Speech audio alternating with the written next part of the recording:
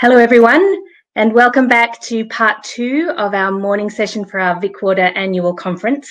Um, for those who don't know me, I'm Jo Lim. I'm the Operations and Strategic Projects Manager at VicWater, and I will be moderating this next session through to the lunch break.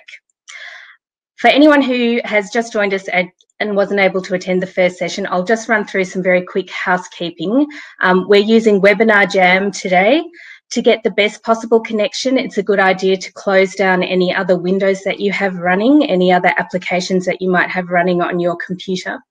Um, if you do have problems with your connection, there is a refresh button at the top of your screen um, or a reconnection button, I think. And if you click on that, that might um, help overcome some technical issues.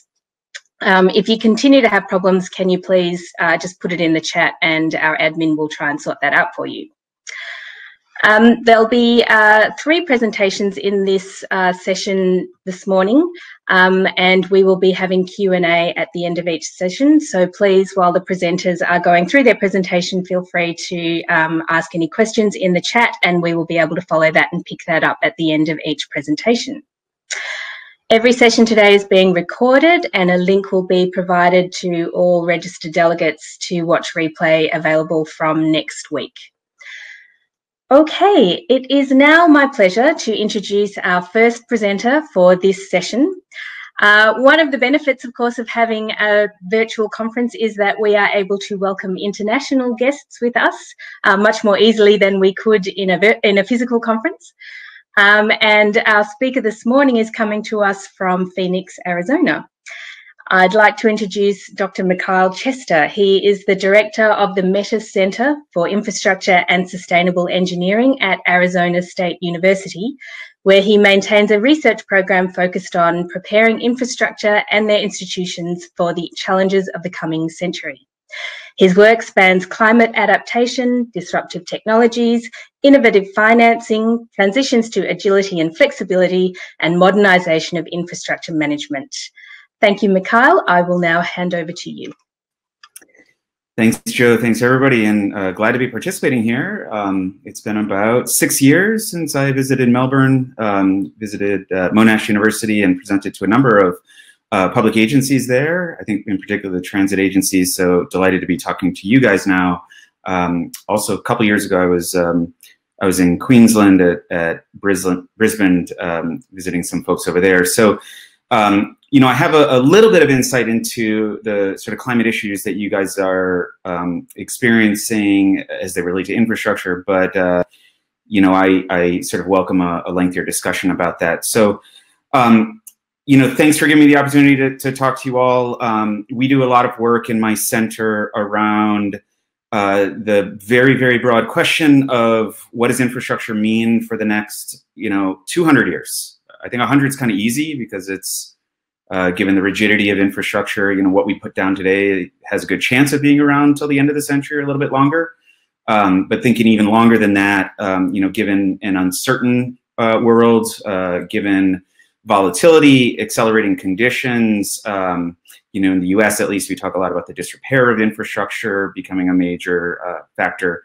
Um, you know, the the challenges for infrastructure are monumental. So um, when I talk about talk about flexibility, um, I am talking somewhat broadly. I'll give you guys some specific sense of what I mean by that uh, in a little bit. But um, generally, what I'm talking about is the ability to um, meet uh, rapidly changing demand conditions. So COVID's a great example of that. Um, you know, many of our infrastructure, at least in the U.S., were not able to scale down or you know sometimes up very quickly. Um, and then I talk about uh, you know flexibility and agility from the perspective of uh, what our infrastructure are actually capable of doing, what services they're able to deliver um, in the environments that they are in.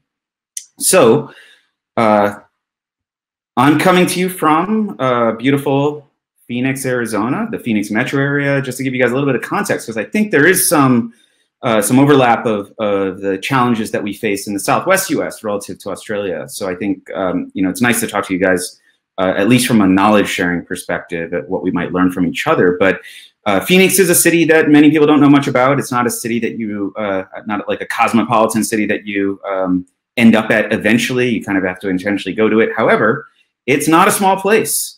Phoenix is currently around 5.5 million people. That's up from about 1.5 million in 1990. So over about 30 years, we've had a tripling of population. We're expected to go to about 8.5 million in the coming decades. So uh, the metro area is roughly the 15th, one five largest metro region in the country. Um, the city of Phoenix, uh, which is one of the 28 cities in the Phoenix metro area, is the fifth largest city in the United States. So, um, you know, we have uh, a city in a desert, the Sonoran Desert. You know, we've got water issues, of course, uh, a lot of local water where we have to go pretty deep, about uh, 100 meters down for it, uh, large sort of energy costs associated with that. Um, you know, lots of quality issues associated with that. Uh, we have a lot of, um, you know, maybe a quarter of our water comes from nearby mountains. So a lot of people don't think of Phoenix as having uh, geography, but it absolutely does. Um, so if you go north, west, uh, or east, you hit mountains very quickly, and you go up those mountains, and uh, climate changes very quickly. So uh, snowpack is a, a, significant water supply for us, and that has been shrinking. And then, of course, um, the stereotype or what, what are uh, people often think of us as um, that being trucking water in or canaling water in from hundreds of kilometers away, that being the uh, California Canal or Colorado River Canal, um, which we do. That that's roughly a quarter to a third of our water, depending on the snowpack. So um, Phoenix is hot, if you haven't heard. Actually, it's really hot. Um, we have had this is actually just from a few days ago. We have now hit uh, our 50th day over 110 degrees, which has obliterated the previous record. Um, I think we're probably at you know 53 days at this point. Um, you know, the highs here in the peak of the summer are around 48 Celsius, if I'm doing my math correctly. Um, today was cool. It feels nice. It's only about 38 C. And um, this morning when I woke up at about 4.30 to walk our dogs, which is, you know, the safe time to do it, it was about 29 C. So it felt like I needed a jacket. Um, but uh, you know, eight months of the year, it's it's quite mild, and and actually the weather, here is gorgeous. It's you know four months of extreme heat, so you know that might resonate with uh, some of the climates. You know, definitely in Australia, but um, some of the climates that you guys might deal with in your service territory. So, um, jumping into the content, uh, you know, thinking about infrastructure, climate change, and what I would describe as uh, the broader challenge of, of the Anthropocene, right? So anthro being man, Pocene or scene being era, the era of man right? We're now in an era where human beings, in many ways, dominate and control. It's an important word and a, a very particular word. Um, natural systems, right? So you're hard pressed to find an untouched natural system. Good, good luck finding that at all. Um, you know, water systems are almost entirely managed at this point. Um, you know, pretty extensively uh, channelized and, and, controlled in ways that move towards people, right? Um, but this is also true of the climate. You know, whether we're talking about CO2 into the air or you know, carbon capture and storage, kind of geoengineering out of the air, nutrient cycles, you know, so on and so forth. Um, but human beings have, you know, that we're the hyper keystone species, um, and we have control over many of the Earth systems, right? And we now see the effects of that. The planet is in a period of rapid, unpredictable, and fundamental change that is literally global in scope. So we know, especially when it comes to climate, that the issues are not bounded by geopolitical boundaries, right? That doesn't make any sense, actually, in, in many ways when we think about climate um, you know, a, a state in the United States like California may turn off CO2 emissions, but you know, if all the other states keep it going, um, you know, the effects are, are going to be felt um, nationally and globally. So there's evidence of this, right? So I don't know if you guys have seen this. Uh, these are what are called the great acceleration curves. And generally what they show is from 1950 on, we've seen an acceleration of lots of trends of human systems and natural systems, right? And, and it's uh, nonlinear, it's exponential and it signals that um, something significant is happening, right? So um, what does that mean? Well, um, when we think about the significance of all of this change, right? So there's certain words that I use. Accelerating conditions, I just showed you a chart of that. Non-stationarity or uncertainty, depending on how specific we want to be about statistics. Volatility is another important word right? So we might put all these together or describe uh, trends in different ways, but what's important to recognize is that infrastructure is at the center of many of these. So climate is absolutely one of those, right? Cyber technologies, emerging and disruptive technologies that are that are uh, coming um, coming about, right? Faster and faster and faster, whether it's information and, and data and computation and artificial intelligence, machine learning, and all of those uh, uh, new gadgets, or you know whether we're talking about electric vehicles or rooftop solar or anything like that, right? Um, in the U.S., we talk about financing or disrepair. There's sort of a lot of uncertainty around those issues. Um, you know, ideological extremism. Um, you know, we can't ignore the fact that infrastructure is increasingly at the center of um, ideological extremism um, in the sense that, you know, for example, in the United States, we've had lots of discussion about the post office delivering mail and, uh, you know, whether or not the post office is being, you know, dismantled uh, because, you know, it, it might uh, throw the election one way or another coming up in November, right? The, the conversations around the post office absolutely nothing to do with the efficacy of communication, right? They have everything to do with something else, and we have to recognize that um, infrastructure is, is in many ways a political football nowadays. So that's the landscape. When I use the word landscape, I'm generally talking about these conditions um, that are moving in sort of unpredictable ways, and and you know infrastructure is somewhat responsive to those.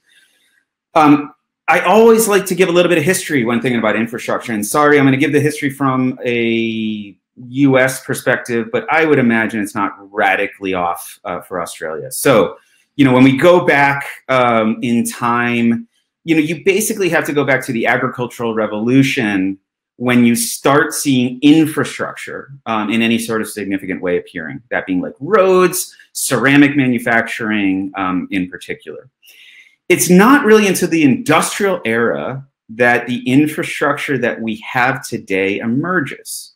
Or I'll put it differently the infrastructure that we generally have today is very much designed around industrial era thinking. It's designed around industrial era goals. It's designed around industrial era landscapes or environments. Those environments often um, having assumptions based on stability built into them. And nowadays, you know, when we talk about sustainability, when we talk about climate, when we talk about emerging and disruptive technologies, when we talk about cyber warfare, when we talk about all of these sort of uh, forces that I described before, I think it's reasonable to ask the question of whether our infrastructure and how it is governed, the, the technical assets and how it's governed, um, should be structured the way they are for the problems of 2100 instead of the problems of 2000 and earlier. So I want to pose this question to you guys right now to think about as I talk through the rest of these slides. If I were to say to Vic Water, start with a blank slate, how would you restructure your organization with absolutely no constraints for the problems that you face today? What would that look like? How would it be different than how you structure your organization currently? That's a really tough question to ask, right? Because institutions have momentum, institutions have constraints, they have lock in, right? Um, individuals and institutions have identity, right? We, we view our value in a certain way. And when somebody comes along and says the organization should do something else, there's resistance because of that, right? So there's challenges of breaking that sort of those identity issues. But forget all that how would you restructure Vic Water today? What would the departments look like? What would the technical expertise look like? How would teams be structured? How would you allocate financing? Right? And that's a really, really important question to ask. I'll come back to that in a few minutes.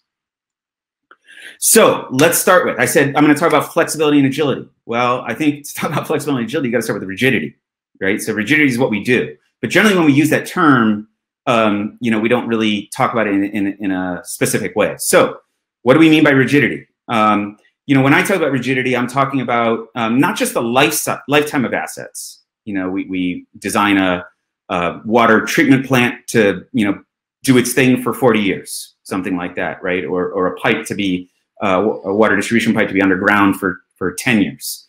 Um, what I'm talking about is uh, not only that, but also the actual uh, governance and goals of that system, right? So those those don't change, as well as the sort of uh, assumptions about the environments in which it's going to operate in. So why do we design these systems with rigidity? For a number of reasons that make a lot of sense. I'm not saying this is necessarily wrong. Okay, one is we hedge risk, right? So when we say something's going to be there for a long time, now we can finance it in a sort of uh, committed way, right? We can hire expertise in a particular way, right? Knowing that that asset will be there and certain types of capabilities are going to be needed to take care of it and so on, right?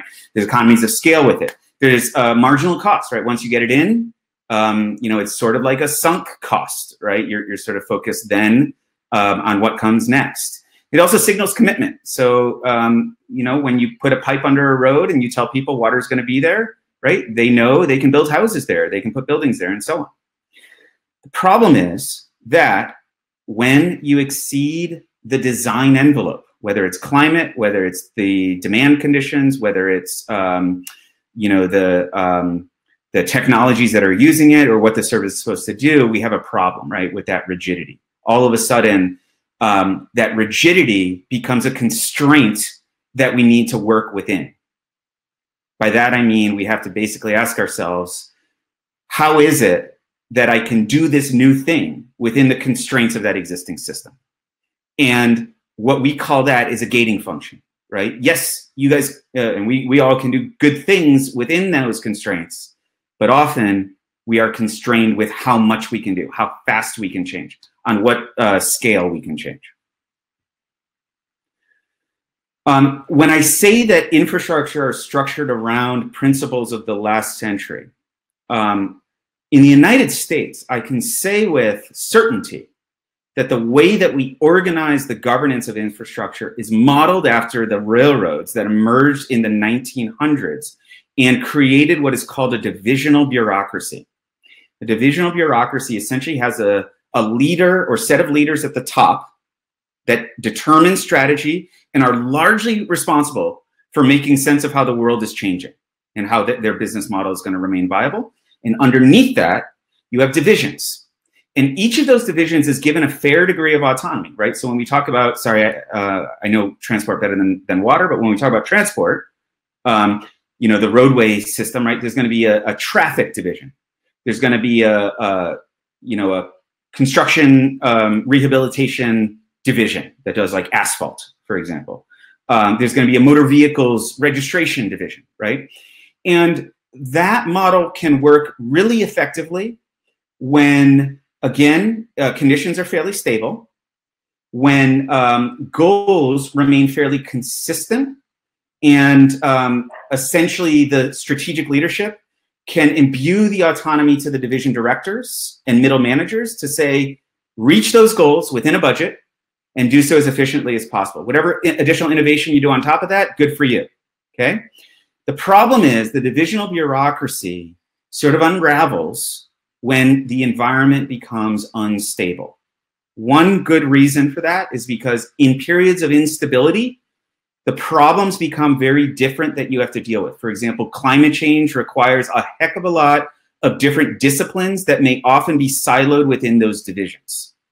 And you need the capability to extract the appropriate expertise from those divisions put it together somewhere else with the resources and management that it needs to then go out and make decisions, which the organization in a divisional bureaucracy is generally not structured to do.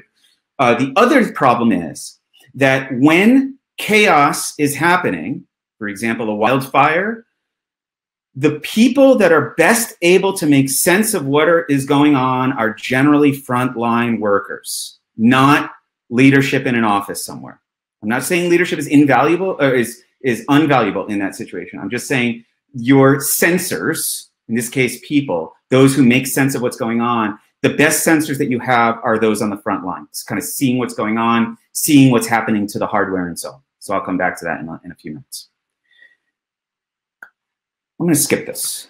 So uh, I think I made this point, and uh, you know, as we shift from the industrial era and and our legacy systems that are kind of structured around industrial era goals, uh, we need to start asking what it means to be able to function, more so thrive, in the next 100 to 200 years. And I'm going to give you some idea of what that means, okay? So I'm going to use the word complexity.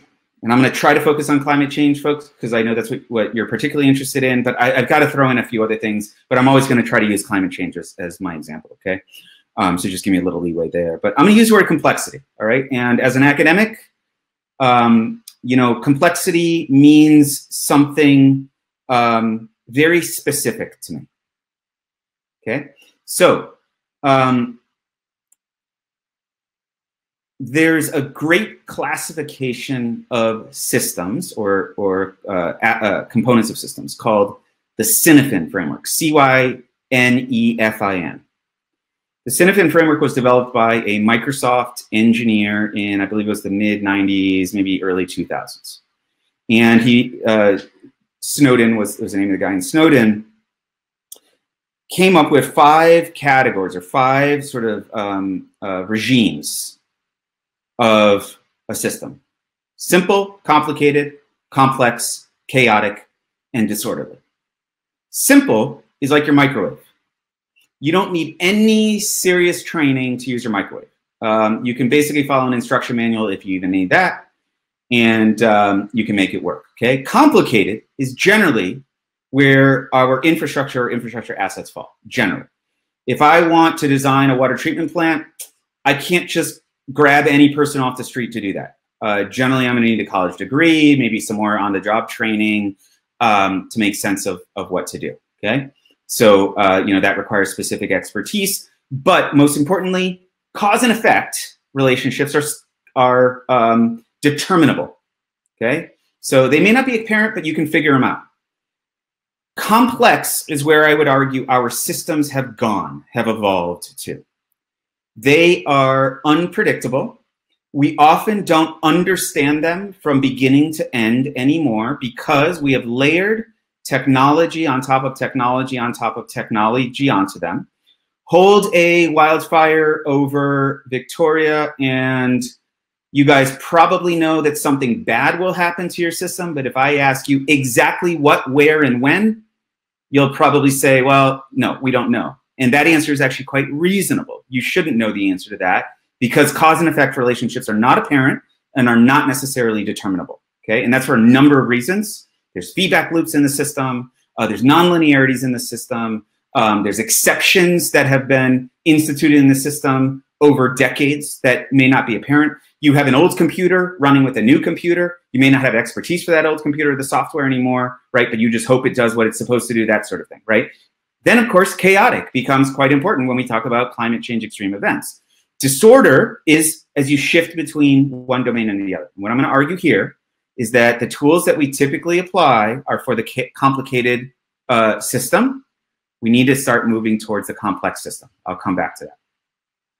Talked about this a little bit.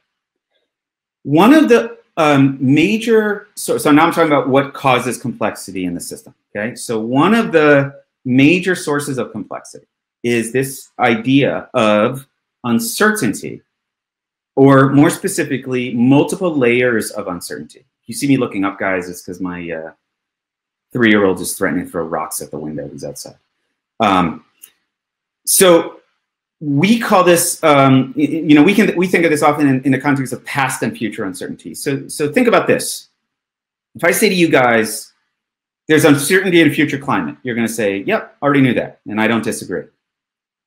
But what if I say to you, there's uncertainty in the past in terms of what you designed your systems to be able to deal with? So I'll give you an example. in 1950, you may have a legacy component from 1950, okay? And I'm, I'm making up this hypothetical, assuming that it's pretty much on par with the US. So in 1950, um, there was, let's say, a stormwater um, uh, pipe that was put under a road, um, you know, next to, for example, one, one of your water distribution pipes. And in 1950, an engineer was tasked with sizing the water pipe. How many centimeters should it be? Should it be four? Should it be six? Should it be 10? Should it be 20?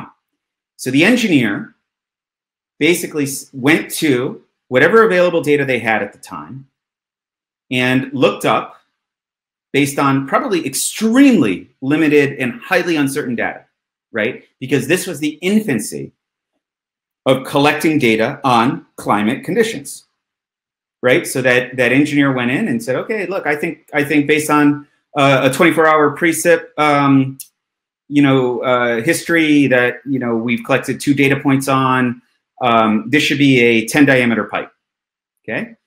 And those two data points may have been accurate, may have been low, may have been high, right? If they were high, then that asset was overdesigned. No problem. It handled more water than it could have, right? It, than, than it experienced. What if it was low? Then that pipe probably wasn't able to handle um, the stormwater, the rain event that, that uh, it was asked to facilitate. And there was flooding. So over the decades, um, folks have probably come along and, and uh, upgraded that pipe given you know potential hotspots of, of flooding, right? But um, nowadays we have much better data just because we have his, much richer historical records, right? So um, what's going on? What if you think about a future where I tell you that infrastructure in the past were over-designed in certain areas, in in the future need to be more intensely designed because precip is going to get worse. Do you need to upgrade that asset? That's one form of uh, combination of uncertainty, right? Then the problem is these other, what we call the elevated domains, where the past uncertainty and future uncertainty are going in the wrong directions. We, we basically just don't know, um, you know, whether or not something is capable of handling, um, you know, future climate, right? So that's a source of complexity in the system.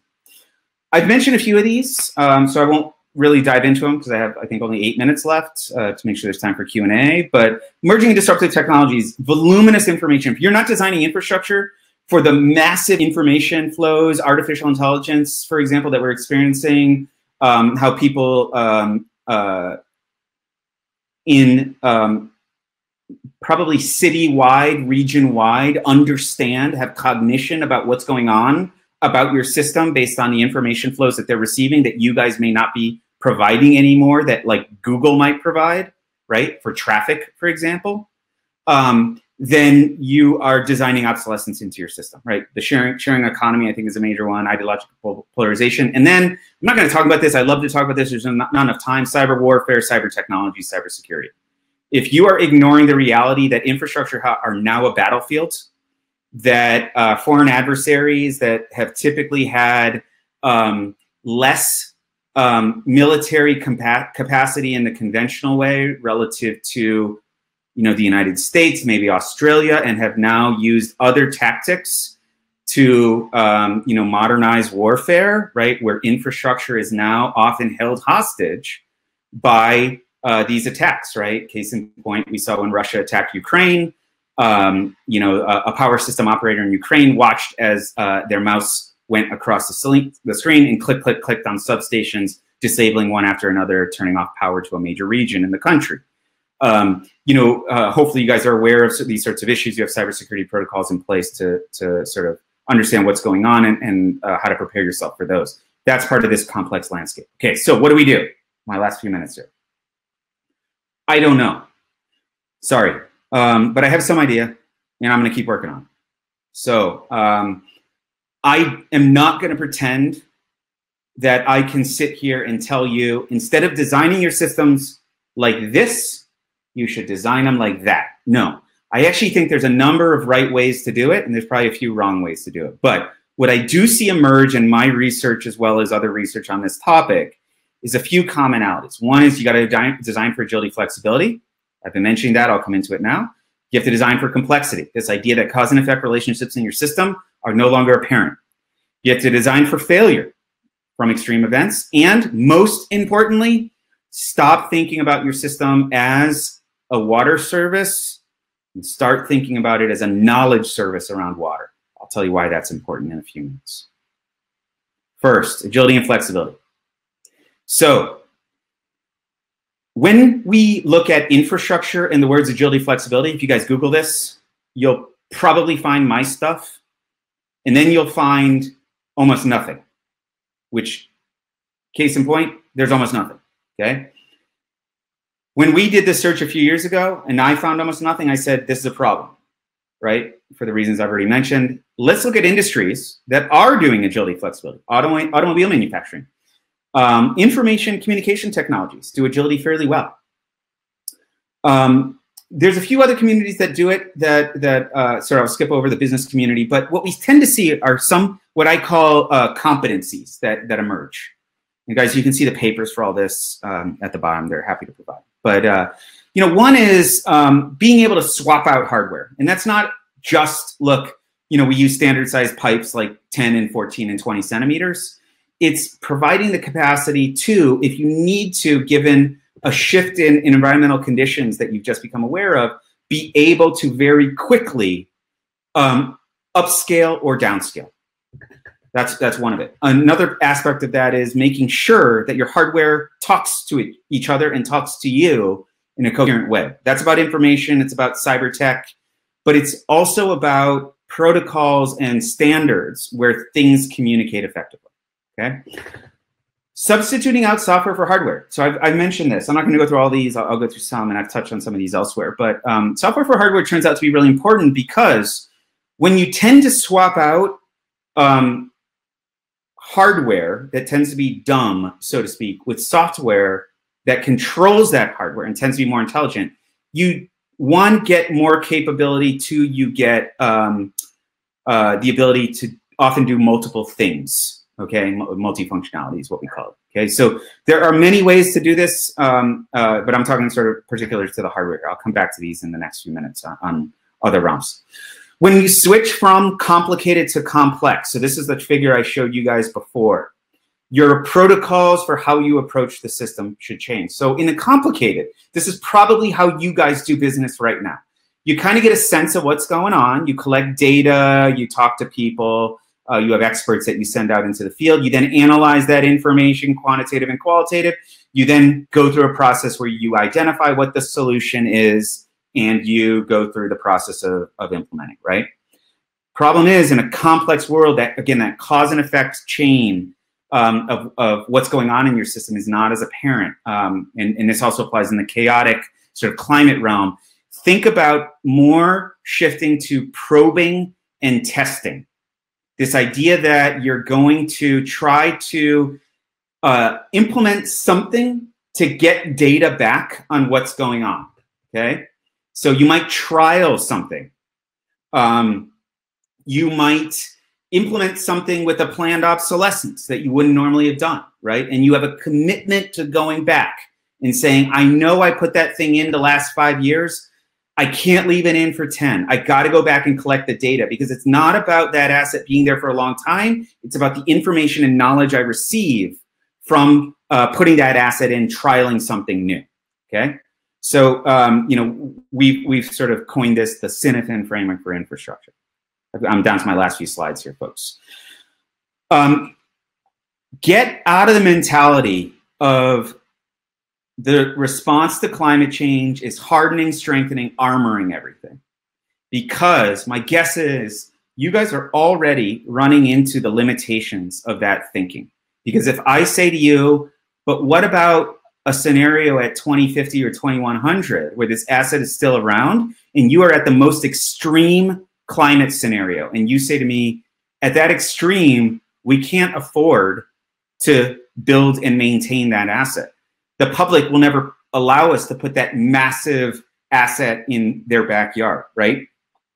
Think about uh, augmenting the service in other ways. This is called graceful extensibility right? So if wildfires and um, post-fire debris flows are inevitable and they're going to take out your assets, you might want to consider how you supply water during these increasingly likely failure events, right? And then, of course, sustained adaptability, which is this commitment to change that, you know, get away from this, this rigidity mindset and, and basically say, I'm going to keep coming back to it. Um, I'm going to skip that one. I want to make this last point in, in my last minute here. Design for knowledge.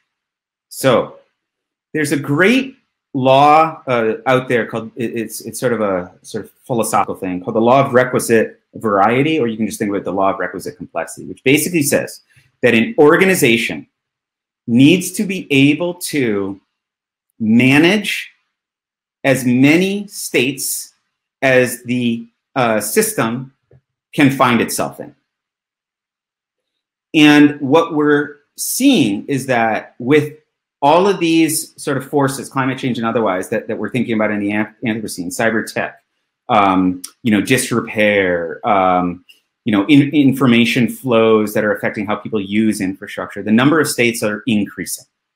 And that means that you guys, as the governing body of that infrastructure that needs to be able to respond to all those states, needs to be able to have the ability to make sense of That's a great, uh, really important word, sense making of what's going on. So think about how you shift your organization from one that is about providing water and maintaining assets. I'm overgeneralizing, guys. Sorry, I don't know the specifics of what you guys do, and I'm sure sure it's uh, far more nuanced than that. So just give me a little leeway here. Um, but think about shifting from that sort of mentality to um, one where you are uh, an organization primarily about knowledge making for this increasing complexity. That you are restructuring your organization to make sense of uh, what's going on. The divisional bureaucracy may not be the right way to do it. You may need to think about how you have flexibility in um, your funding, in how your teams are structured. Are people able to ditch one team when there's chaos and go to another? Um, do you have resources in place for those teams when it happens? When uh, climate change um, is happening, do you have a particular division that deals with it? Or is this a problem that spans all divisions? Same thing with cyber warfare, right? This is an issue that spans all divisions. Do you just add another division to deal with it where you silo that expertise? Or do you think maybe about a different model where expertise is sort of um, cross division or in you know very different structure altogether, right? So um, there's uh, there's some great uh, work on um, what is uh, described as administrative leadership, which is uh, probably what you guys emphasize now, which is essentially leadership for stability. Okay, and um, that's generally how infrastructure in the U.S. has has been governed for about hundred years. Then there's adaptable leadership, and this describes a situation where you guys have created the flexibility for ad hoc teams to form with the right resources, with the ability to be semi-autonomous and and go out and make sense of what's going on, right? That, that's that's one aspect of it, right? But most importantly, how do you shift between the two? Because I'm not advocating that you need to go entirely to adaptable leadership. For your systems are going to exist for a long time, and you will have periods of stability. So you need administrative leadership. You'll also need adaptable leadership. As such, you're going to need the ability to transition between the two you're going to have to give your organization the capability or the flexibility and agility to be able to shift between those two. Okay, so that is um, a, a, major challenge, and and I go back to my initial question, which is where I will end.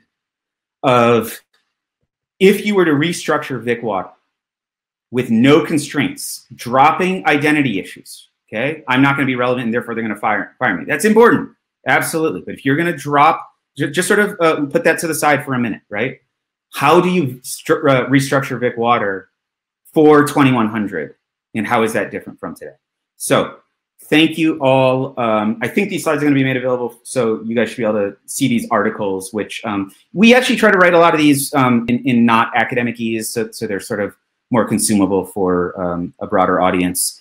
And uh, with that, thank you, um, Jo, and, and thank you everybody else for your time and attention. Thank you so much, Mikhail. And uh, to quote one of the comments we've had in the chat, that was an outstanding and very thought-provoking presentation. Uh, we have had a question come through from Nigel, uh, who says that he's been working on complex decision making in agriculture for 10 years. The theory says use storytelling and gut feeling when making complex decisions. Can we apply this in the water sector?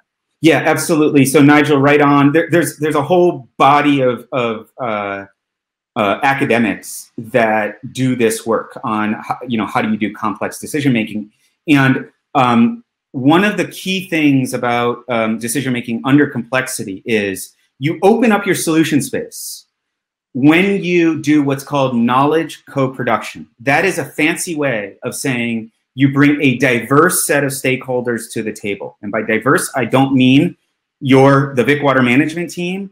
I mean across vicwater across your um, your consumers, across maybe other agencies, right?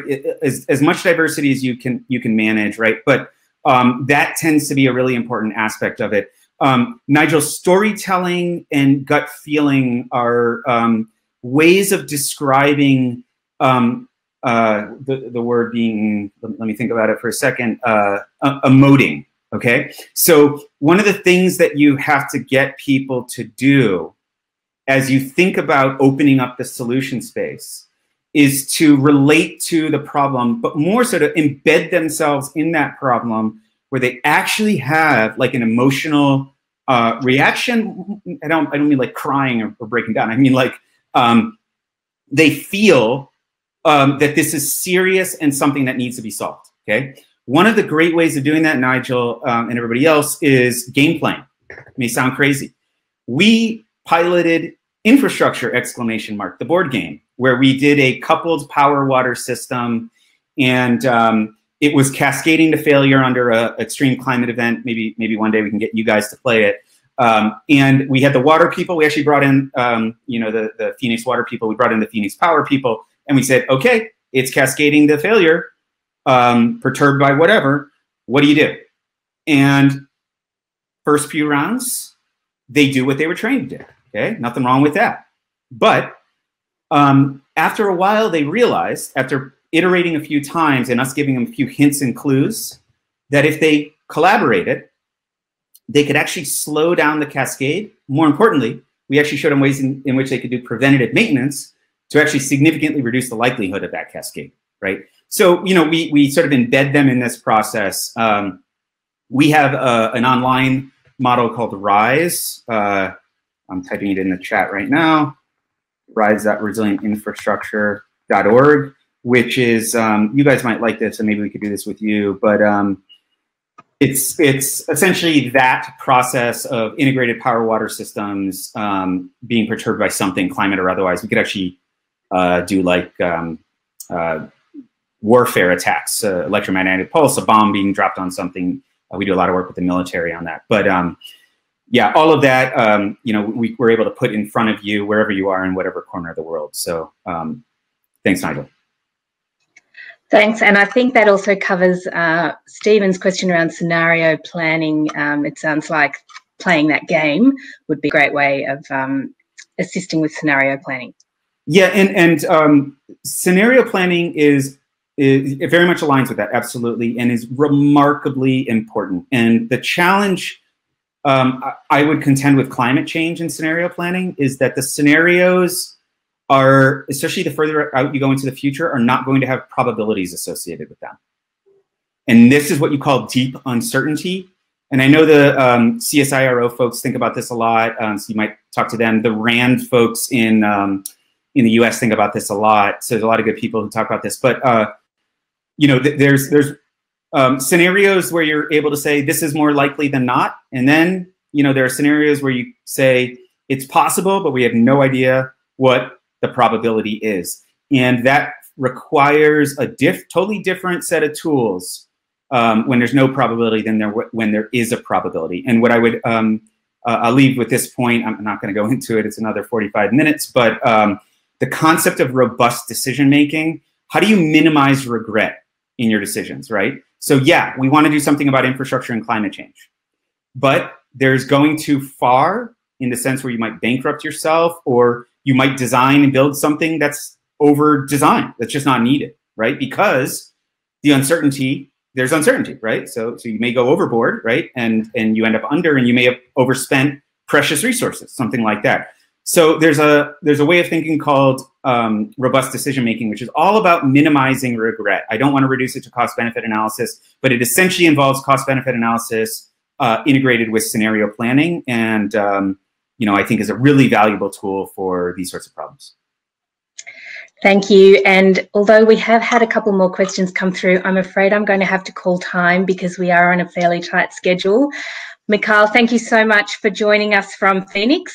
Um, and uh, good luck with the with the weather over there and uh, and the wildfires and everything else that's happening in your country at the moment. Um, we we send you our best, and we really appreciate your time this morning. It's been fascinating. Thank you. Thanks again, everybody, and uh, again, glad to have the opportunity to talk to you. Have a good morning. Thank you. We are now going to take a short five minute break and uh, then we'll be back with our next speaker. So it is my pleasure to uh, welcome and introduce Dr. Rachel Carey as our next presenter. She is a lecturer in food systems in the Faculty of Veterinary and Agricultural Sciences at the University of Melbourne, where her teaching and research focuses on the governance of sustainable and, and resilient food systems. Rachel leads the Foodprint Melbourne Research Project, which is looking at strengthening the resilience of Melbourne's food system to shocks and stresses related to climate change and pandemic. Thank you, Rachel. Hello. Um, thank you very much for the chance to come here and speak to you. So, my expertise is not in water, it's in food systems. So, I focus on what happens in getting our food to us from the farm to the fork. So, I'm not going to talk to you about water. I'm you're obviously the experts on that. I'm going to talk to you about food. So, this presentation here focuses on water for food um, and the role of water policy and the decisions that are made uh, in the water sector in, in, strengthening the resilience of our food system to shocks and stresses, particularly shocks and stresses related to climate change and also to pandemic. So I'm going to talk about the pressures that are facing the food system currently from increasing shocks and stresses, particularly climate related, the need for an integrated whole of government policy approach to strengthen the resilience of our food system and really why water policy is central to that type of whole of government policy approach and what the opportunity is for the water sector to make a contribution to ensuring a plentiful, fresh food supply for a growing population in the face of increasing shocks and stresses to the food supply. So, of course, for many Victorians, um, the last few months have probably been their first experience of seeing disruption to the food supply. So, we've seen you know, empty supermarket shelves, and COVID 19 um, has had impacts throughout the food supply chain, in addition to the impacts of the panic buying from consumers that led to empty supermarket shelves.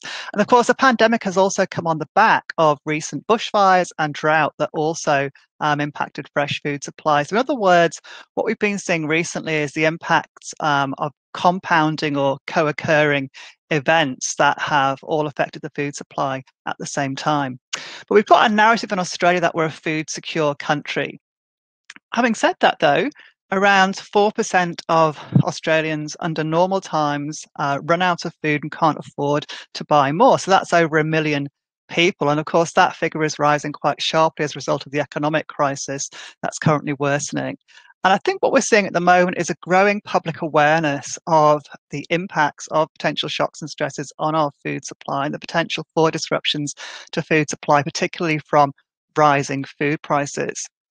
And of course, we saw this during the Millennium Drought in Australia. Between 2005 and 2007, food prices in Australia rose around 12%, but the price of fresh vegetables actually rose 33%, and the price of fresh fruit rose 43%. And that was due to the impacts of lack of water for food production. Now, similarly, in 2002 to 2003, the price of fresh vegetables rose around 13% under drought conditions. So, fruit and vegetable prices are particularly hard hit during times of water scarcity because we mainly source our fruit and vegetable supply domestically. So, we don't import much fresh fruit and vegetables. The fruit and vegetables that we do import are mostly processed. So, we're quite dependent on our domestic uh, on our domestic fruit and vegetable supply chains. And that's why we see those kinds of impacts when we have um, climate related events. Now, a key issue here is that most experts do expect global food prices to be more volatile in future, and we expect more price spikes because of the impacts of climate shocks and stresses, but also due to other pressures on the global food supply.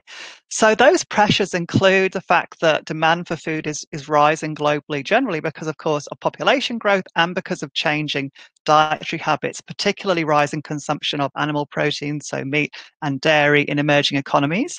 And then we've got declining supplies of all the natural resources that underpin food production. And that includes declining supplies of phosphate, which underpins conventional fertilizers, of course, declining supplies of farmland due to rapid urbanization. And we've seen that on the fringe of Melbourne, particularly. And there's a need to decouple the food system from fossil fuels because they underpin everything in the food system from fertilizers right through to, to, transportation. We've also got high levels of food waste, where we know around a third of food that's produced is wasted globally. And that, again, is a waste of the natural resources embedded in that food. And just turning to water, of course, around 70% of the world's fresh water is used for agriculture globally. And we've got increasing competition for that water from other uses and also from the need to restore environmental flows in the world's major river basins, including, of course, in the Murray Darling Basin. So, my point here is that this combination of pressures is likely to lead to increasing volatility in global food supplies. So, if our capacity in Victoria is constrained in terms of our ability to produce food by increasing water scarcity, then the assumption that we can simply source deficits in our food supply from somewhere else is becoming increasingly problematic because the global food system itself is under pressure from a range of growing environmental constraints. So, the key point to take away here really is that the evidence points to the need to take a precautionary approach and to engage in long term planning to strengthen the resilience of the state's food supply to future shocks and stresses. And also that water policy is a key part of this. So, climate predictions, of course, suggest that water availability is likely to be significantly reduced in major irrigation regions in Australia in future. And of course, there's been much investment in regions like the Murray Darling Basin to improve the efficiency of irrigation um, infrastructure. What I want to do here is focus instead on the opportunities to strengthen the resilience of the food system by making more wastewater available for food production on the peri-urban fringes of cities in Australia, where, of course, most of the population is located. I lead a project called the Foodprint Melbourne Project. And what we've been doing in the project is investigating opportunities for strengthening resilience of food production on Melbourne's fringe. The project is funded by the Lord Mayor's Charitable Foundation, and we have a wide range of project partners. They include the City of Melbourne, the Interface Councils, the Peri-Urban Group of Rural Councils, and Port Phillip and Western Port Catchment Management Authority, in addition to a number of the individual local governments on Melbourne's fringe. So we've been doing this research project since 2015, and we've produced quite quite a, a, significant evidence base about food production on the fringe of Melbourne and about the factors affecting production. What our research has found is that Melbourne's food bowl, by which I mean these two peri-urban rings around the city, which are in green and blue on this map here, this food bowl region produces enough food, or did produce enough food in 2015 to meet around 41% of Greater Melbourne's food needs. The region is particularly important to the production of perishable foods, and it produces around half of the vegetables currently grown in the state of Victoria and over 90% of fresh berries, but also a wide variety of other foods as well. Now, all of Australia's major state capitals are surrounded by food bowls that are highly productive and are important, particularly to production of perishable foods, including perishable um, vegetables. Production in this region around Melbourne, what we call Melbourne's food bowl, is also very important economically. So it contributes around $2.45 billion annually to the economy through primary production and through related secondary food manufacturing. And it also provides around 21,000 full time equivalent jobs. what we found through our modelling was that if this region continues to grow as it has in the past, with most of its growth on the urban fringe at relatively low rates of urban density, then by the time Melbourne reaches a population of 7 million, the capacity of that food bowl to feed the city could drop to 18% due to both a higher population and loss of farmland on the city fringe. And of course, continued loss of farmland on the city fringe and that lack of certainty about the future of that area also makes it difficult to invest in water infrastructure in the region because it's difficult to invest in 50 year assets when you're not sure if they're still going to be there um, in the next 10 years or so. So, we have proposed a vision for a more um, resilient city food bowl where recycled water is used to produce food on the city fringe. So, in fact, we've argued um, that the land close to the city's water treatment plants is some of the most um, strategically important agricultural land that we have in the state because of its proximity to, to sources of wastewater. But this farmland, of course, is currently among some of the most at risk land that we have as well because of its proximity to the urban growth boundary. So this essentially is our vision for a more resilient um, city food bowl where we'd have drought resilient uh, areas of food production on the fringe of the city, close to the city's water treatment plants, where we can use recycled water to continue producing food, particularly during times of drought. Now, of course, recycled water already is used to produce food close to the city's water treatment plants, both the eastern, oops, sorry, I was expecting something else to happen on the slide there, both the eastern and western treatment plants, but also some of the other smaller treatment plants on the city fringe. But a relatively small amount of recycled water is currently used to produce food. So in 2016, we found that around 6% of the available wastewater was used to grow food, and around 84% of that available wastewater was actually discharged at sea. And our modelling suggested that if around 10% of that water that was unused or was um, taken and used to produce food, it'd be enough to grow around half of the vegetables that Greater Melbourne's population needs. The proportion of wastewater used to produce food has increased since then, and it was around 11% in 2018 19. But that still means that there's really significant potential in the amount of unused um, recycled water at the moment. So there's an opportunity to make much more of this water available to food production if we invest in greater infrastructure to store the water to pipe it to farmers and to treat it, of course, to appropriate quality as well.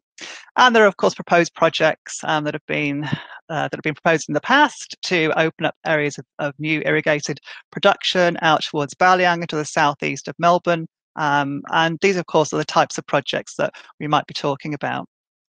So, our research has identified some opportunities for greater use of recycled water and stormwater for agriculture um, in Melbourne's Food Bowl. And these are some of the quotes from interviews that we conducted with stakeholders.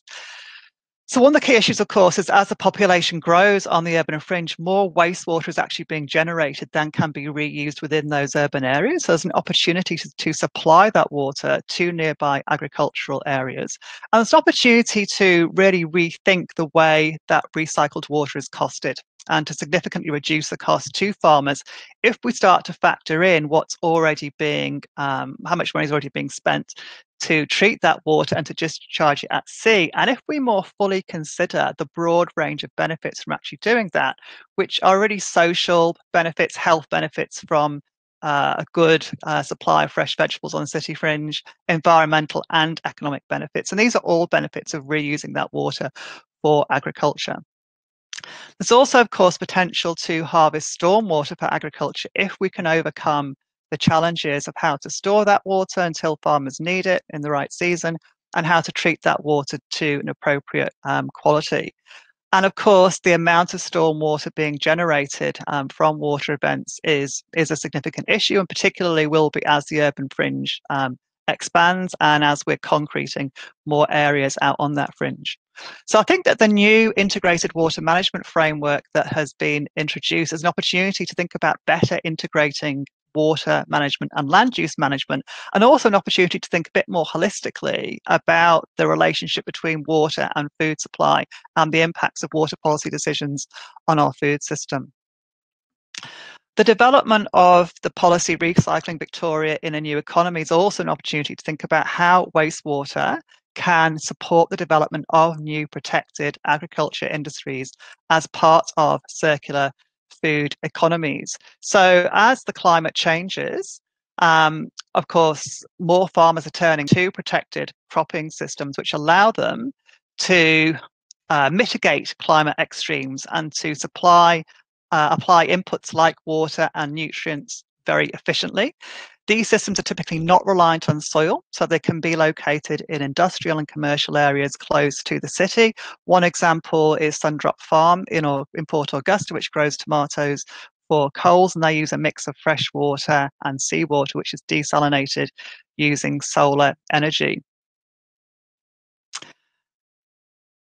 The fringes of our cities are in many ways ideal places to grow food um, in protected closed loop production systems or in regenerative agriculture systems as well, because of their access to waste streams from cities.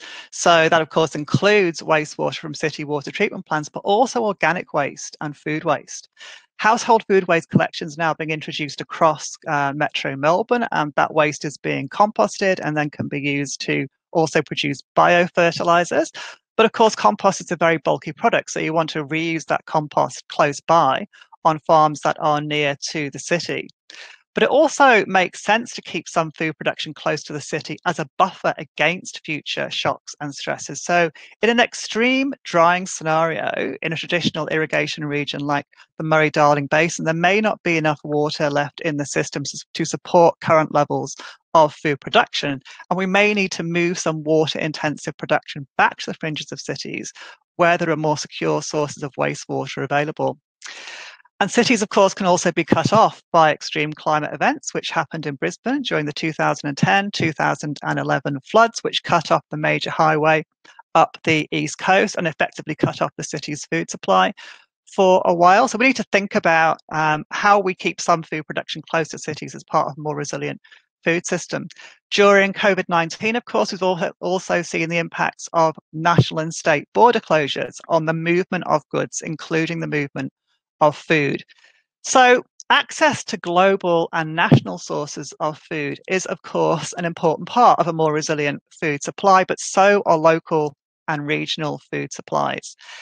So, it is important that we do keep some local food production close to Melbourne as much as we possibly can and close to other major state capitals around the country as well, so that city populations don't become entirely dependent on more distant sources of food.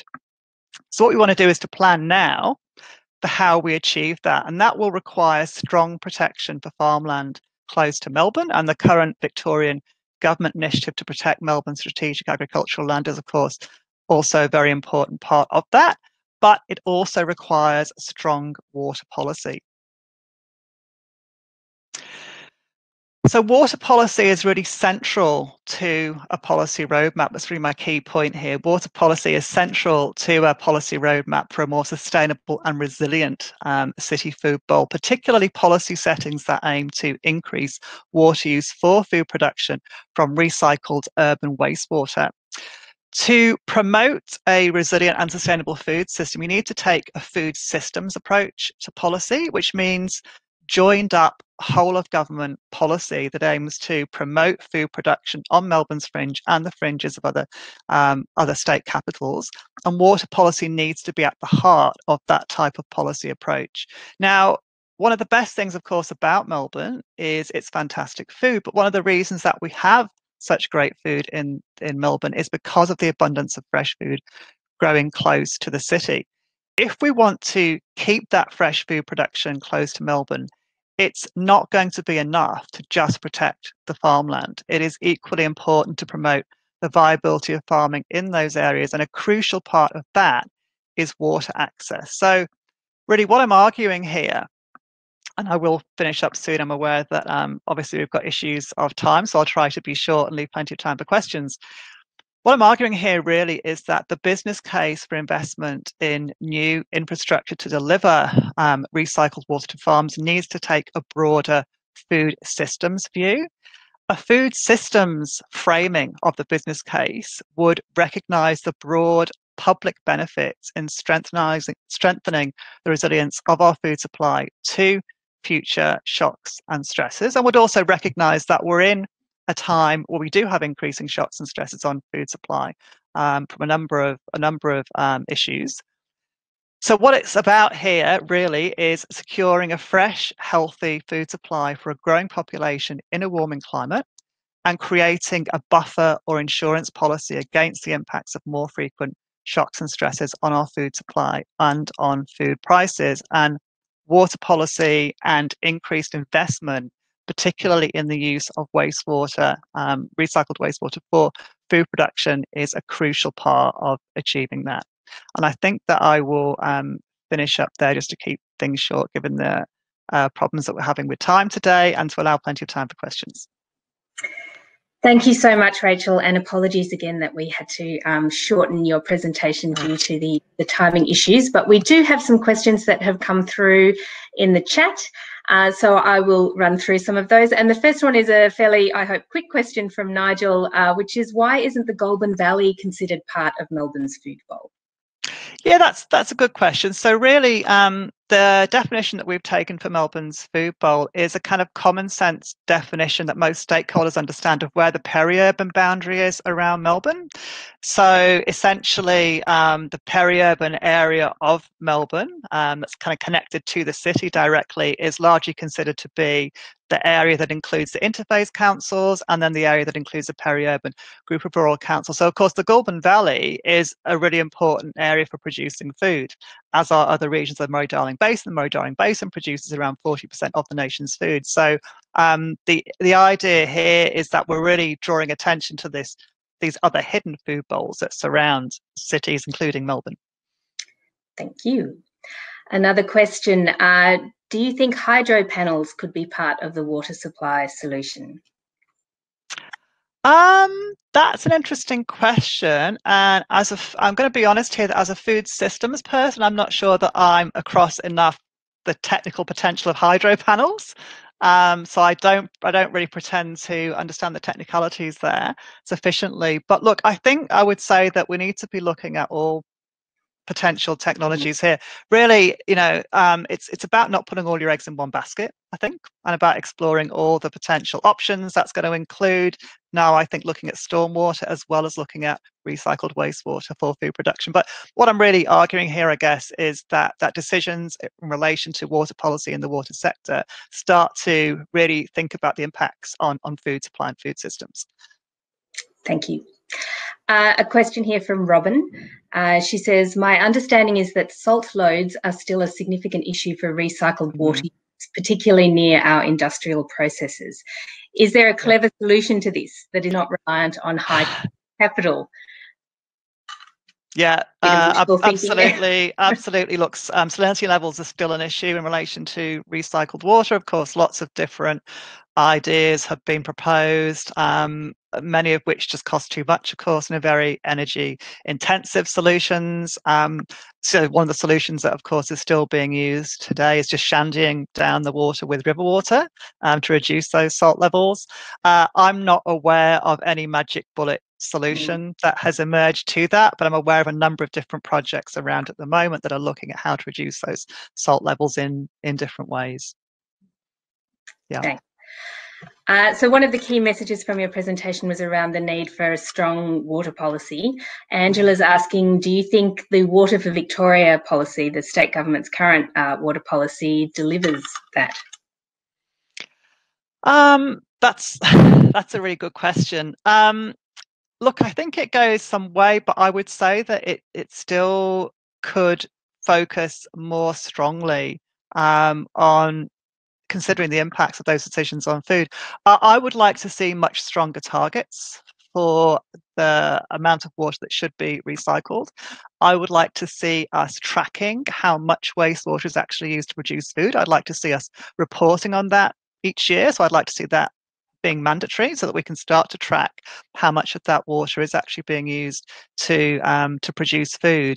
And I really think that what we're going to need here also is um, it's new new ways of thinking about how we cost the benefits of recycled water more broadly, um, and that policy should be, you know, starting to think about this in a more holistic, more holistic way. But I think really, if um, the water sector is going to be empowered to do this, then we do need the right policy settings in place. And I think the policy settings need to um, need to make clear that the water sector is empowered to do this. At the moment, it's quite difficult because it really um, means that water retailers need to go out, survey the community, and to understand, you know, what the community's views are on that in order to really get a mandate to go ahead. We need to move beyond that, right? It needs to be, it needs to be just considered as common sense, and the policy settings need to support that. Okay. Okay, we have a couple more questions that we'll just finish off the session with. So Jacinta says, given that 70% of Victoria's water is consumed by agriculture, how could the 30% of recycled water have a significant impact on food production? Actually, I'd like to say that the figure that I gave for 70% was global figure. So nationally, it's more like 60% of water is used to produce food nationally. And that's probably that at state level as well. And that's because we've actually become much more efficient about how to do right. that through through drought.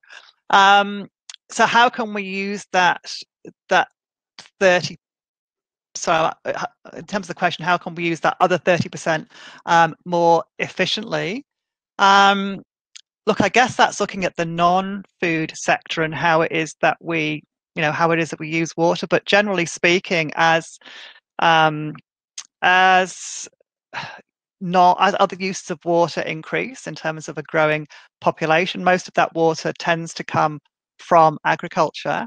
Um, and really, what I what I would point to is the opportunity for the 80% plus of recycles of wastewater you know, that's recycled that isn't currently used for any other purpose and is mainly discharged at sea because it's seen as being a cheaper way to dispose of the water. We, we've got to move beyond that kind of mm-hmm. thinking mm. that just says, look, what's the most cost effective way to dispose of the water?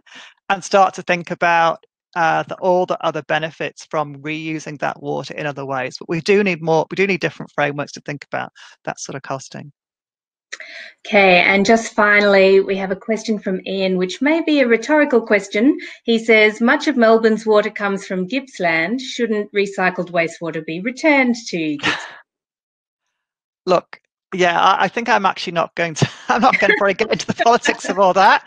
Um, or the politics of you know um, uh, whether water should be going from the Murray-Darling Basin down to Melbourne or anywhere else. You know, I mean, I guess that's about uh, that's about balancing the water needs of different water users. There's probably there's probably a point there. Um, but yeah, I think I'd rather not step into that one. Very wise. Fair enough. Um, thank you so much, Rachel. Uh, we really appreciate the time you've taken to be with us today, and we appreciate your patience in seeing us through this technical problem that we had. Um, and a reminder to everybody that the session has been recorded, so you will be able to watch the replay when it is available next week. Thank you, Rachel. Thank you. All right. Uh, in the interest of time, uh, moving right along so that we can get everybody into a lunch break before the afternoon sessions, uh, it is my pleasure to welcome our next presenter, Rosie Wheen. Rosie is CEO of WaterAid. She is a passionate advocate for human rights, gender equality, and universal access to water, sanitation, and hygiene. She has two decades of international development experience, having lived and worked in Indonesia for six years before joining WaterAid Australia at its inception in 2004. And so I will say in my best schoolgirl Indonesian to you, Rosie, selamat datang, and I will hand over to you now. Terima kasih. Wow, what a wonderful welcome. And I'm so delighted to be joining you all. I'd like to acknowledge that I am joining you from what always has been and always will be Aboriginal land on the, on the lands of the Wurundjeri people. And I pay my respects to their elders, past, present, and also extend that respect to all First Nations people joining us today and presenting at this important conference. Um, and I've been looking at the chat box and who's there, and I can see many familiar names and organizations there. So it's wonderful to be connecting with you all. And congratulations again to Vic Water for this conference, but also the really important work that you do. And I'm so excited because as part of our partnership with Vic Water, we're fundraising together for a project in Papua New Guinea and this project is going to improve access to clean water and decent toilets and hygiene in 12 schools in two districts. And it's going to impact the lives of 3,500 students and teachers. We're going to be working with our partners from the schools and local government to improve facilities for water and toilets and also do menstrual hygiene work and some operations and maintenance. Sounds pretty simple, doesn't it? We'll do some work, make sure that there's water in schools, toilets in schools, talk about periods, talk about how to dispose of sanitary pads.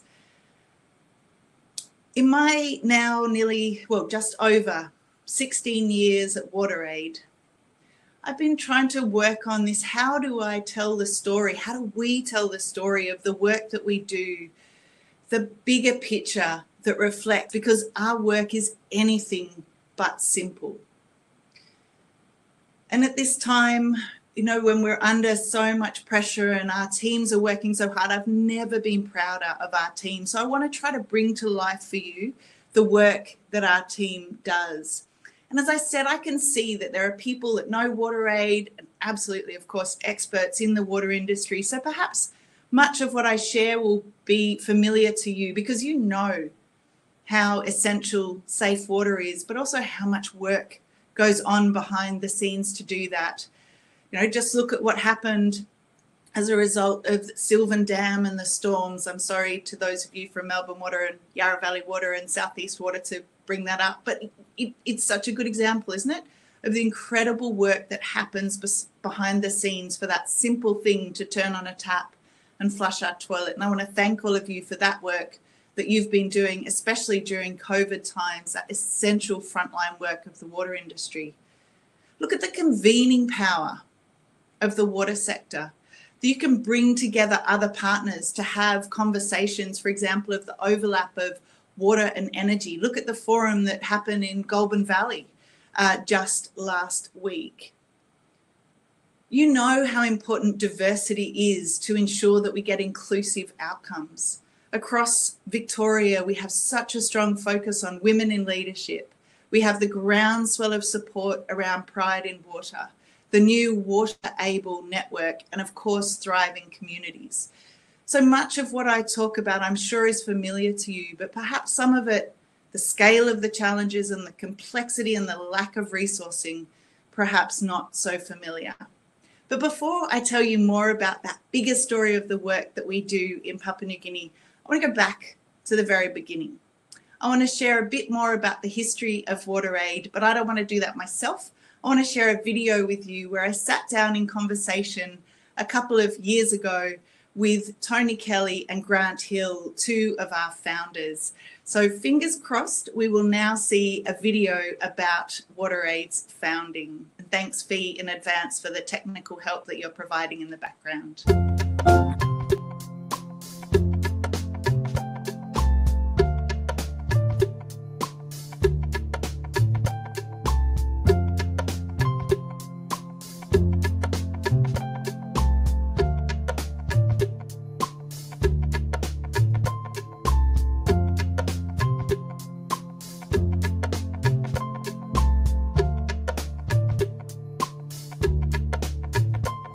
Great privilege to be here with Grant Hill and Tony Kelly, the founders of WaterAid Australia. Grant, tell us how it all began. Well, Rosie, WaterAid began out of um, an existing campaign organised by Australian development organisations. There's about 30 to 40 organisations that came together in 2002 and 3 um, to highlight the issues of um, dirty water and the lack of toilets causing disease and death uh, in countries all over the world and that we could make a difference.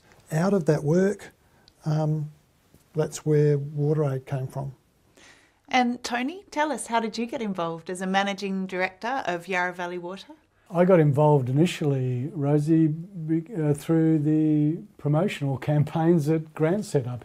People in the water industry have either got a strong social conscience or a green tinge, um, and also intuitively understand the value of clean drinking water and effective sanitation. Tony, what's your long term vision for WaterAid as we strive to 2030 and everyone everywhere getting access to safe water and sanitation? When I look back on my career, it's probably one of the things that gave me the greatest level of satisfaction.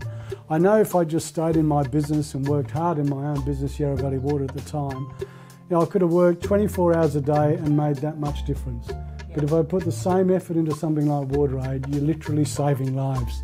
And that opportunity still exists for leaders in the water industry, and I strongly encourage them to get involved for that very reason. We have created WaterAid in our region, and we can strive to achieve our vision of everyone everywhere having access to safe water, decent toilets, and hygiene by 2030.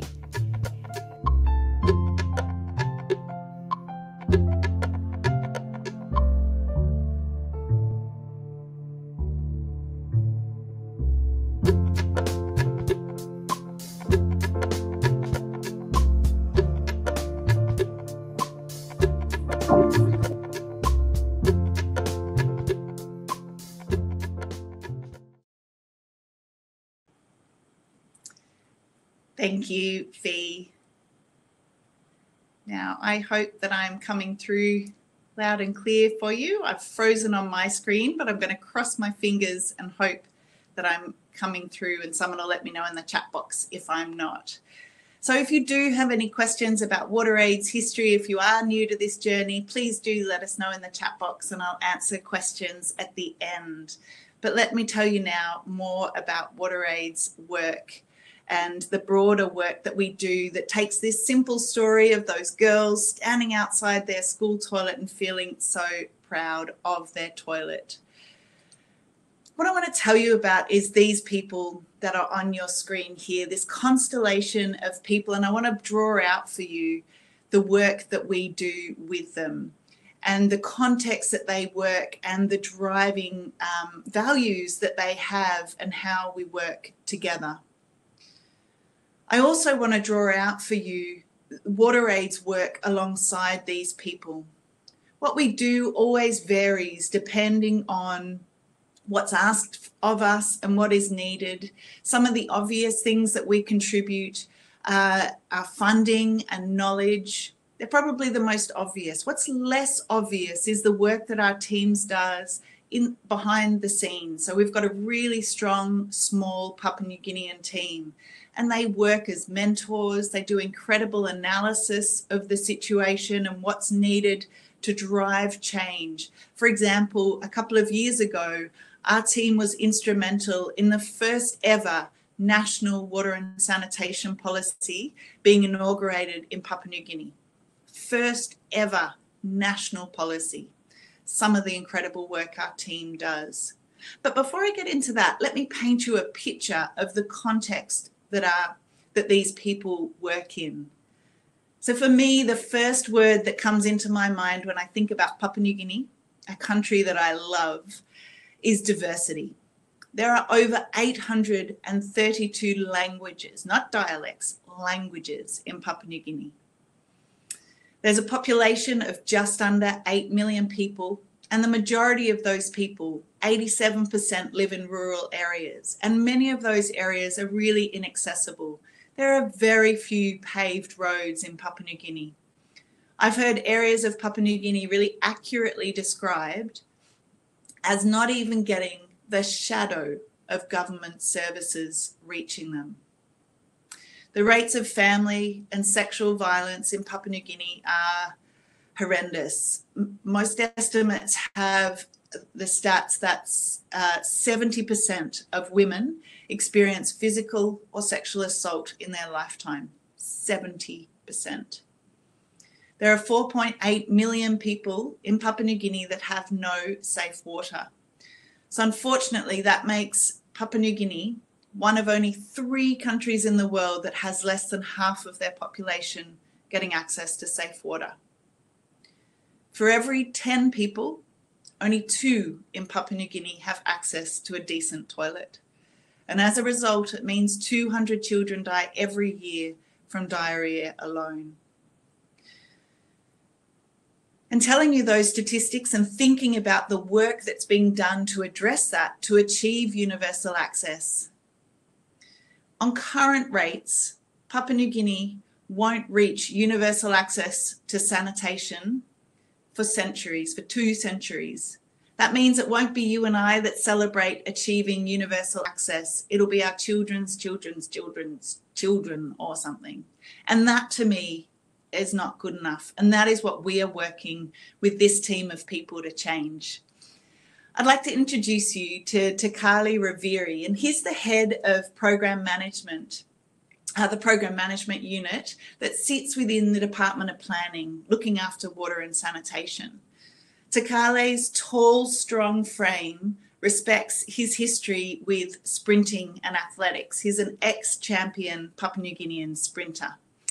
Now his passions are divided between wash and athletics. Last time I was in Papua New Guinea, I bumped into him at the airport, welcoming home with such pride the Paralympic team that had been competing in the region. Takale has, I would suggest, one of the hardest planning jobs in the global water community. As I said, less than half the population has access to water. When you go into his office, it's piled high with files and pieces of paper. And I think somewhere in them is the information to tell him what assets are where, who put them there, what's working, what's not. But it's not a particularly strong starting point, yeah, to address that massive need that he has. And to fund the work to close that gap, Takale and his four people team need to unlock millions of dollars of funding. And there are international funding bodies that want to support Takale and to deliver this mission. But with each of them comes crippling bureaucracy that just puts uh, Takale and his team into a state of paralysis. So often. Before COVID, the Papua New Guinean Public Service Administration was weak. Takale and his team weren't paid for months. So, as I said, Takale has a pretty tough job.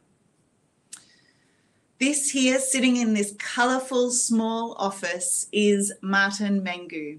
He's the district administrator for the Wewak district.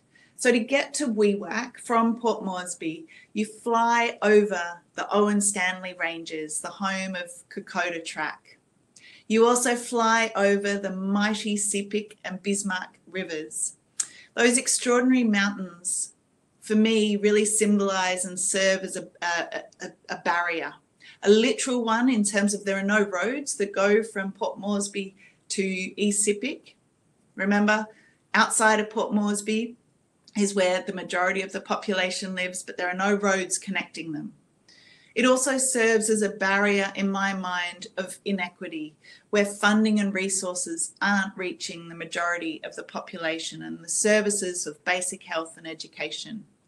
So, as the district administrator, he's the CEO for the district, looking after the economy and health and well-being of the 100,000 or so population of the area. So, when looking just at the WASH challenges that Martin presides over, 37% of people in his district have no safe water, and 41% practice open defecation. In schools, 2%, 2% have hand washing facilities, and only 31% have toilets.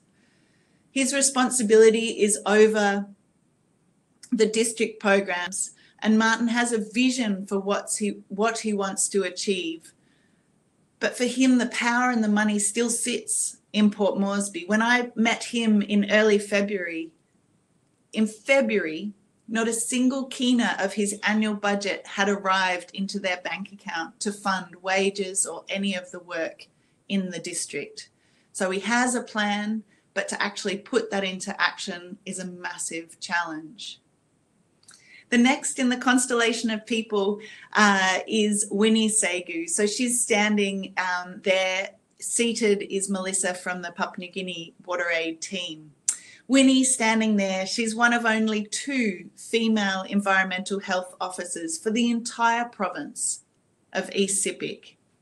She's um, got an impressive list of things that she does and things that she works on. So she is co chairing the district WASH coordination body that meets every quarter. She's facilitating the rollout of Healthy Islands program, which is a behaviour program on health and hygiene. She brings together really key province actors and communities to drive change for water and sanitation. Winnie doesn't focus on challenges. Her focus is on the challenges that other women face due to gender discrimination, those rates that I touched on before of family violence, and the lack of women in leadership. In Papua New Guinea, there is not a single woman in parliament. Winnie is focused on leading change in her district and leading by examples. So she said, if women see other women taking the lead, then they will have the courage to speak. And let me tell you, Winnie has a lot of courage. This is Lucy Henson. Lucy is the Disability Inclusion Officer for the East Sepik Disabled People's Organisation. Lucy is a powerful advocate for people with disabilities in the district, which is a tough job when you have zero resources, and a membership that's made up of some of the poorest and most marginalised people in the district. She herself is vision impaired, and uses a cane that you can see in her hand to get around, which is no small feat. Imagine navigating the myriad of physical obstacles she needs to to get around the chaotic informal settlement that she lives in. Worse though, for her is the stigma and discrimination that she and other disabled people face due to attitudes such as a belief that if you have a disability, you or someone in your family must have done something evil or that you are cursed. Lucy fights every day for the voices of people with disabilities to be in the decision making process on any decision that affects their lives. She really lives the motto nothing about us without us. So, given those challenges and given the incredibly complex context that we're working in, what is it that WaterAid's work looks like? We've got a small team, as I said, of less than 20 Papua New Guineans that are supported by a team in Melbourne. Our team has a really diverse range of skills and are absolutely united by their commitment to our vision and our values. So, alongside Takale, um, last year, our team launched the first national monitoring system with support from the EU and UNICEF. So, the first time ever, Takale and his team will have the data to guide government planning, operations and maintenance, and reporting on the Sustainable Development Goals. Alongside Martin, with funding from the Australian Government, the team did that baseline survey so that there is a district wash plan which sets out the vision for the district to become the first ever to be open defecation free. And in that photo there, you can see Takale proudly holding the district plan um, that we developed with Martin. And our team, sometimes it's this, the, the simple logistics supporting the team to make sure that someone from Takale's team could actually go to Wewak and attend the wonderful launching ceremony of this plan so that they could celebrate their, their collective efforts.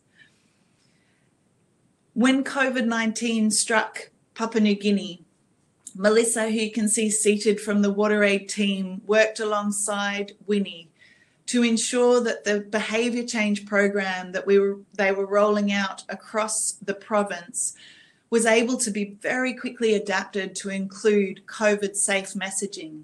So it means over these last few months, they have reached hundreds and thousands of people with the important messages about information about COVID and the important messages around washing your hands. And they integrated information about family violence services as well as the rates have gone even higher.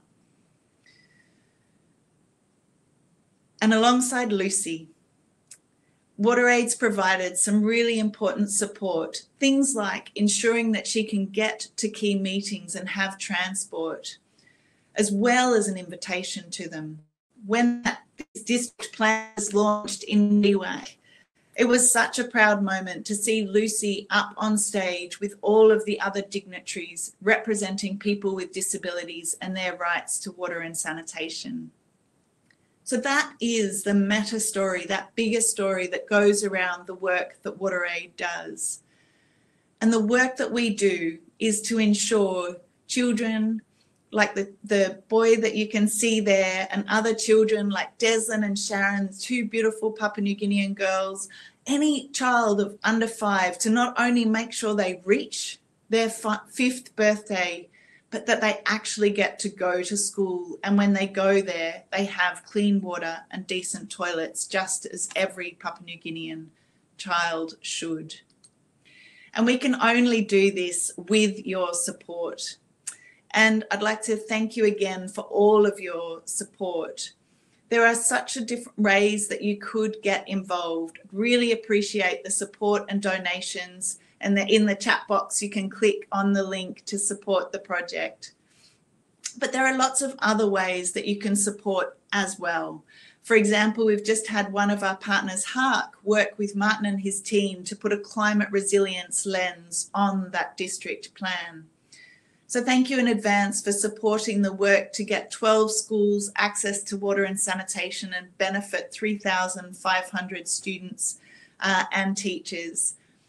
And I hope that I've brought to life that meta story of all of the work that we do to, to make sure that those efforts reach eventually, we'll do some and influence the rest so that we reach all of Papua New Guinea. And it is us and not our children's children's children that are celebrating achieving that vision of universal access to water, sanitation, and hygiene.